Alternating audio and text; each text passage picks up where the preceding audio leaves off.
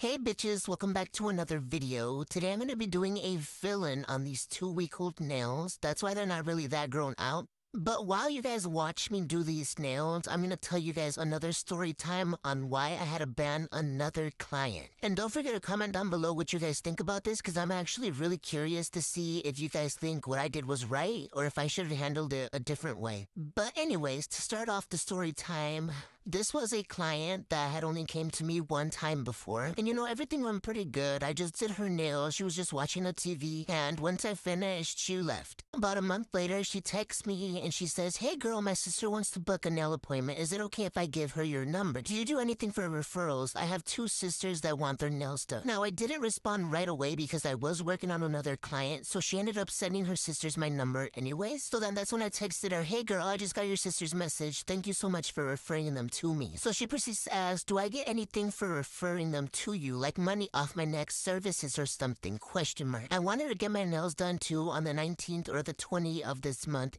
if you give anything for referrals. Now, before I go any further, I just want to explain why I don't do anything for referrals. The reason why I don't give discounts for referrals is because I have a lot of other things that I do for my clients, such as giveaways for free nail sets. I have loyalty cards. By the time they get all of their hole punches in, they could get a free set. But one of the main reasons as to why I wasn't really doing referrals at this time either was because I had just spent over $300 on gift boxes for my clients because I was going to give them away for the month of December as a little gift. And keep in mind, it was October during this time. Last but not least, another reason why I, I, don't do referrals is because it honestly wouldn't be fair for me to give her a discount for referring her sisters to me if I don't do that with my other clients. I honestly think when someone refers people to you, it's because it comes out of the heart, not because they expect something out of it. You know what I mean? Anyways, continuing on with the story time, that's when I had texted her. Um, unfortunately, I don't do that at the moment. I'm sorry. I'll definitely start doing that in the future, though. I always try to be very nice and calm when I'm texting clients back. Like, one thing I'm not gonna do is sit here and be rude to somebody, even if they're being rude to me, because at the end of the day, this is my job, you know? That's when she texts me, okay, unfortunately, we won't be coming anymore since I'm not able to get anything off, even $5 or something off. And I texted her back, that's okay, sorry for the inconvenience. Now, I don't know about y'all, but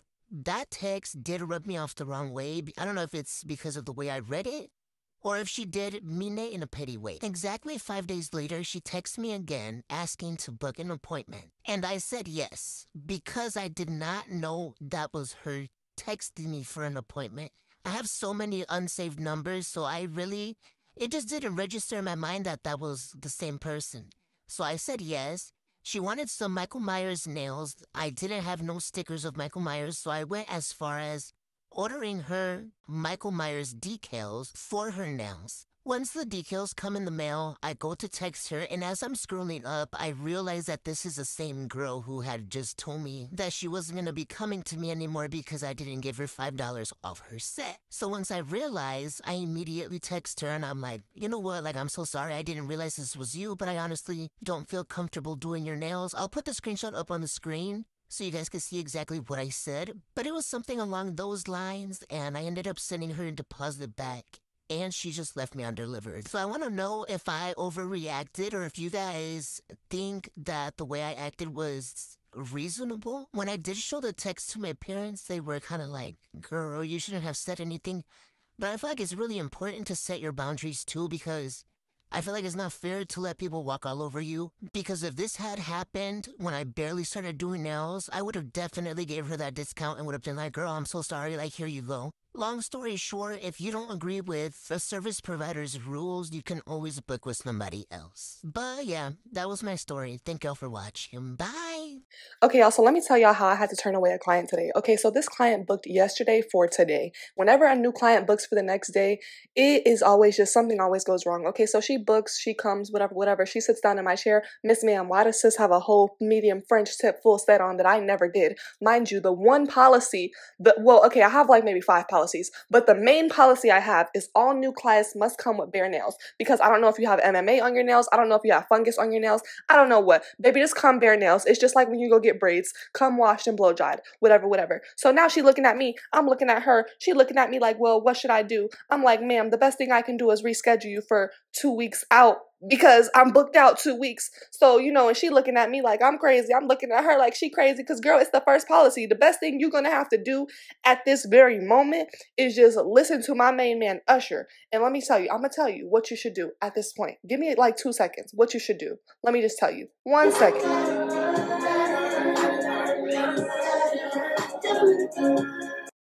LOL, did y'all like the joke? Okay, so anyway, she ends up leaving and then she messages me hours later, Hi, can I get my deposit back?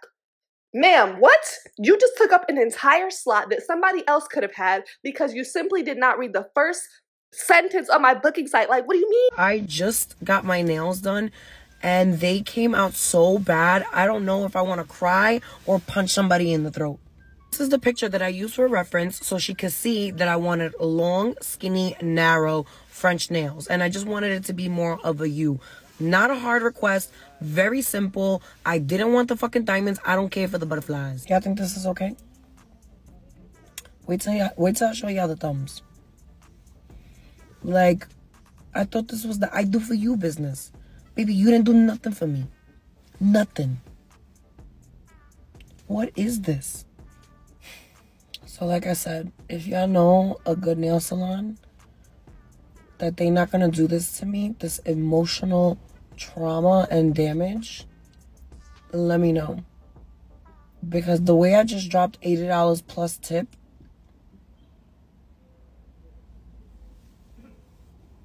I was just traumatized in the nail shop.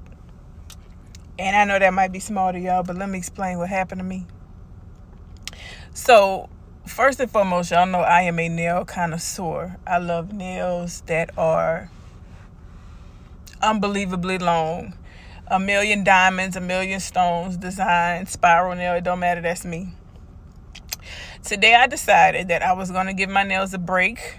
I was to soak my nails off because I kept bumping into shit and they kept breaking or lifting. So I was to do a soak off and I was to do an overlay because my nails have grown rather long. So the overlay was going to not be as long as I usually wear my nails, but longer than super short. So my nail tech is not available, but my nails were kind of hurting. So I said, let me come to a local nail shop. Came to a local nail shop, right? Had the lady soaking off my nails, explained to her, you know, hey, I don't know if I just want to get gel polish or if I want to get an overlay. I'm not sure. So as we doing that, as we soaking off, you know, it takes two or three times. You got to dip it in the acetone, I guess, whatever it is to get the acrylic off. The third time, you know, each time they shave it down. The third time she's shaving it down, I'm not paying attention. And she takes the fingernail clippers and clips my nail. I said, wait, no, no, no, I want to keep the length. So now one hand has nails longer than the second hand because she she clipped the first hand. So she's like, "Oh, I'm sorry. I will add acrylic. If we get overlay, I'm gonna add acrylic because I don't want no tips. I'm gonna add acrylic just to make it meet the length of the other hand. That's fine, cool. I ain't tripping.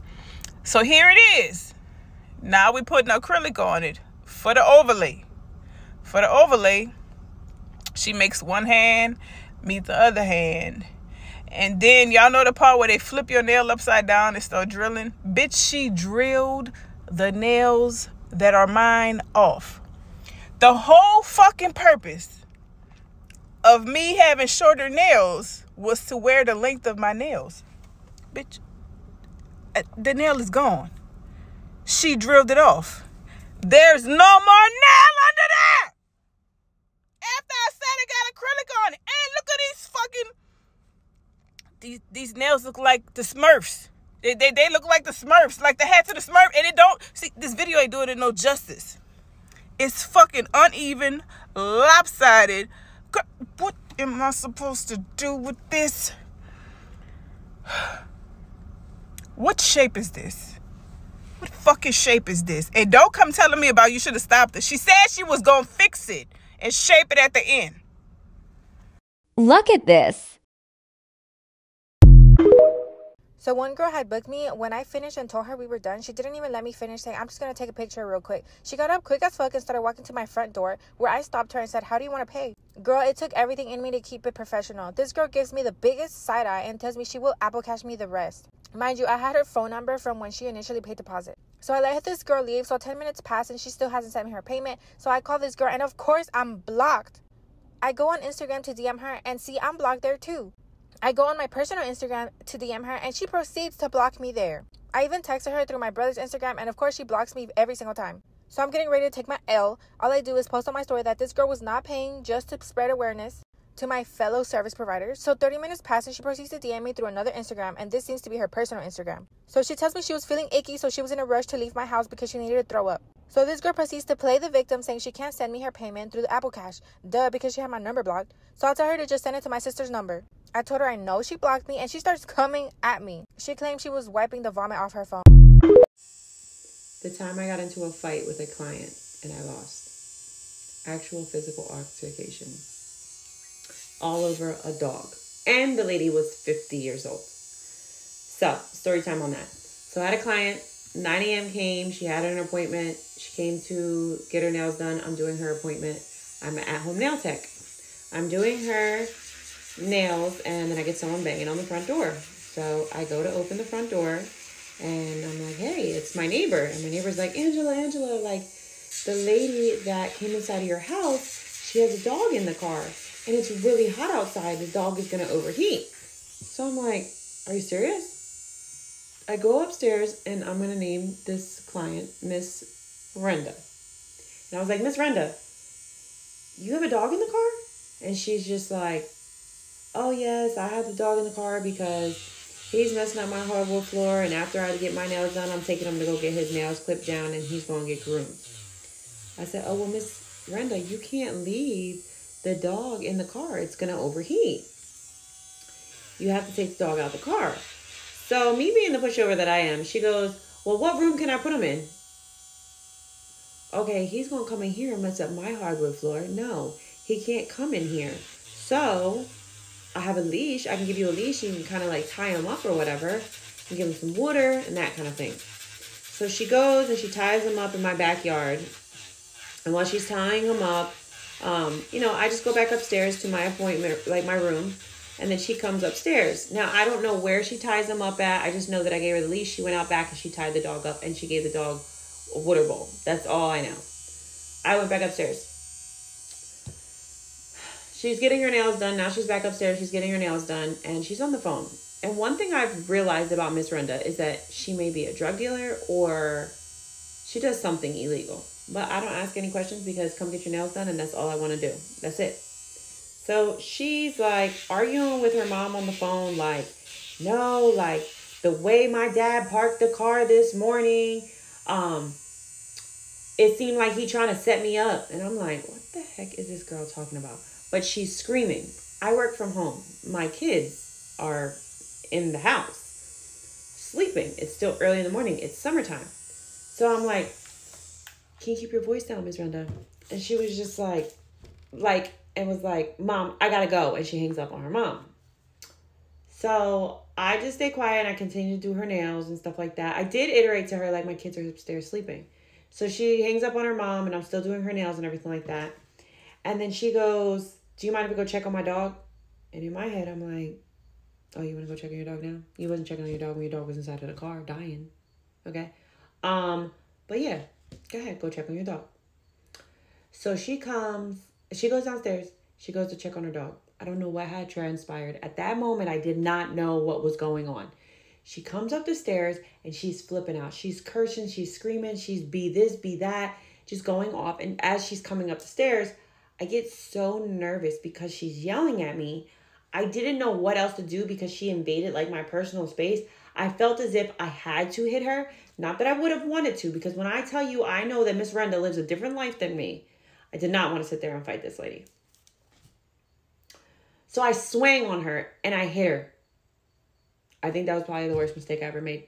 Because next thing I know, we're fighting for so long. I don't know if I even got any punches in because I was just being dragged all through my room. I had acrylics on the walls, they were all gone. They were all gone. My back was hurting so, so bad. And there was nobody there to break the fight up. And I was trying to fight her like it was my, like I was, like there was an invader in my house and I had to kill them because I knew my kids were there and I was losing. So it was, it was very scary for me. Um, at one point we stopped and was like breathing and she was still trying to attack me. And I'm like, I don't even want to do this anymore. You know what I mean? Like I don't my back hurts. Like she hit me in the face a couple times. It was like a lot. I hear someone banging on the downstairs while we're like still like staring at each other and she's still trying to talk to me and stuff like that. And what confused me was how we stopped what we were doing and both went down the stairs amicably. We go down the stairs. I open the door. This is during COVID time. I say to the police officer, How can I help you? He was like, Oh, mind you, she came up the stairs because her dog was gone and she was pissed off. I forgot to put that in there. Her dog was gone. So, being that her dog was gone, it was like she was mad. When I open a door and I'm talking to the police officer, sir, I look across the street and I can see my neighbor with the dog in his hands. He had the freaking dog. Mind you, that means I just got beat up upstairs because my neighbor wanted to go into my yard and grab a damn dog. I tell the officer, I'm sorry, she just came in for a second. You, she, she drug dealer, you know, she don't, she don't be snitching on nobody. She was like, oh, I'm sorry, I was just visiting my friend. She said she had COVID. I just came and dropped off a little bit of medicine. I gave her a little test, blah, blah, blah, blah, blah. She still got arrested. You know why she got arrested? You can't leave a dog inside of a car, but then you also can't leave a dog on like asphalt, like hard, uh, like hot asphalt. So, and then when they looked up her name, I think she had a warrant for her arrest. I really didn't get into that because he kind of went off with her, but she got arrested. Mind you, she left her purse. She, um, well, she left the dog. My neighbor had the dog. And I never really understood like how or why I hit her. I did not mean to hit her, and um, believe me, I didn't want to fight her at all. But she hits me up like three days later, and she's like, "Hey, I respect how you held yours. I understand like what what what happened, but I really need my nails finished." Ma'am, you just dragged me in my whole entire nail room. Like my nail room is ruined. My back hurts.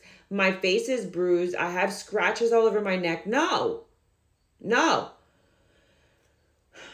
And then I was just like, I'm sorry, you can't come back. I do have your purse. What is your address so I can send you your purse? She was like, Oh, what are you trying to set me up? Blah, blah, blah. So, needless to say, at the time, I had to have Edward go and drop off the purse to her at a Wawa because I wasn't going to meet up with her. I was petrified. But, like, I don't know how that transpired. I don't know how it got there. What I will say is just like doing nails I never expected me to get into an altercation like that. But it humbled me really quick and just showed me that I really do pick and choose my battles, but this one was uncontrollable. And ever since then, I've been on a word like a like a road to recovery when reacting because that was the longest fight of my life. That was the most painful fight of my life. And more importantly, it was the scariest fight of my life. I don't know why I thought I was going to die. So, yeah, just figured I'd share my story time with y'all. Y'all just got done doing this girl's nails and she does not want to pay me. It's a hundred dollars. It's a hundred dollars. You cannot leave. You're not no, leaving without no. paying. I did your nails. Okay, well let no. me cut them off. I'm gonna cut your nails off then. Let me cut your nails off then. Ma'am, it's a hundred dollars. It's a hundred dollars. Nails that aren't even all that. It's hundred dollars. It's a hundred dollars. If you don't want to pay it, then let me cut them off. I'm gonna call the cut cops. them off. I'm gonna call the cops. Call the cops. I'll Get be waiting right way. here. Your confirmation no. text the day before. I, I told you that your remaining balance was hundred dollars. I'm gonna cut your nails off. I'm gonna cut your nails no. out. Let me just get the clippers no. so I'll cut them off. You can leave when I cut your nails off. You're Get not leaving. I need to You're leave not right leaving. Now. You're not leaving with nails. Right You're not leaving with Get nails that are done way. and you didn't I even pay for it. Oh my god, y'all, I just cut her nails off and she left, but this was the worst client experience I ever had, and I'm so happy that I recorded this so that I could show you guys what. Today, we're going to talk about the first and only client that I ever had to get the boot. She was an older lady. I was very respectful. She was cool. When she came in, I introduced myself. She introduced herself. We got to it. I asked her what she wanted. She showed me there was some short, square, white nails with diamonds on top. I said, okay, we can do that. Now, at this point, I'm still a beginner, so I'm not charging that much. So I did it for $55. Red flag number one was when she said, Ooh, that's a little too much. So then, so I get the acrylic all laid and all of that. She said she loved the shape. It was all good, blah, blah, blah, blah, blah. She pulls out this bag and it's a bag of diamonds. She said, use these so it could be cheaper. In my head, I'm like, girl, cheaper? What do you mean? It's only $55. So I look at her, I say, no, I want to use the stones that I use because I just know how that'll look, and blah, blah, blah. So me being a pushover and a newbie trying to please a client, I use her stones, but I still charge her $55 because that's not how that works. So she like, I love him, I love him, blah, blah, blah. But turns out she went to work and start talking about me because she works with my mama. So here's where I messed up. I let her book again. And when she booked again, she came in. I'm like, okay, I'm not, I'm gonna look past all the extra stuff. So I start doing her nails. She said she wanted how she had them last time. So I do it and I shape them. She watched me shape the whole set. She look and she say, "This not how I had them last time. I had squoval nails." I'm like, "Squoval, girl, you know I didn't do no squoval. Now I don't do squoval." She's like, "Yes, I want a squoval." So I, I do her little squoval. So my mama walk in she like, "Oh, you getting something different done to your nails this time?" And she like, "No, I don't know what y'all talking about. This is how I got them done the last time." And I just look at my mama and I'm like, you know what? Okay. So she like put some more diamonds on them because I didn't like the way you had them on there last time. And I'm like, okay, ma'am. So I put some more on there. Mind y'all, this is only $35. She looking, she like, I need more diamonds for how much I'm paying. So we get to the end of the appointment. She pay. Y'all, why she throw a dollar at me and go, here, this your tip. After that, she never booked again. Thank God. Yes, this is how I do my squares. If you don't like what I'm doing, then let's just be done with this. Because now it's like you're antagonizing me and like coming at how I do nails. Like it's really kind of rude. So in regards to this, since I'm not giving you what you want, I refunded you your deposit, and we can be done with that. I'm not. We're we're all good. You don't you don't even gotta worry about it. We all good. I'm gonna open the door so you can.